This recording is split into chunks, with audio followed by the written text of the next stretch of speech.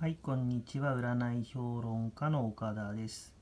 えー今回はですね、えー観葉植物を部屋の中のどの方位の位置に置いておくと良いかということで、えーまあ、その、まあ、一般的な運勢の、まあ、向け方のと方位のことを考えてみたいと思います。えまずですね、え北、東南、西、え特に東南ですね。これは結婚運を上げるということになります。そして南、南は悪縁を切る。裁判で勝つ。頭脳、明晰、才能開花、明星運。特に悪い縁を切るということですね。そこに有効です。えーそれから北、健康運、悩みの解決、子供運。特に健康運アップです。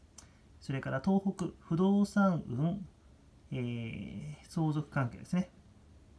えこの北東は不動産が特に良いですね。あと北西ですね。え出世運、投資関係、特にまあ勝負どころのね、投資あたりは効くと思います。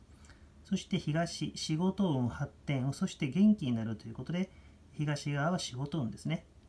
南西、これは、えー、と家庭運になります。あとは、えー北、東南、西、これはもう全般的に人間関係に効きます。え北東、東南、西、西北、これはま金運にも効くということですね。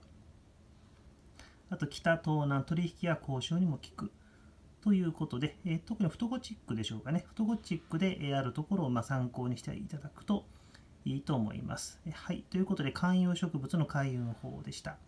えまたちょっと次回もね、観葉植物の話をしたいと思います。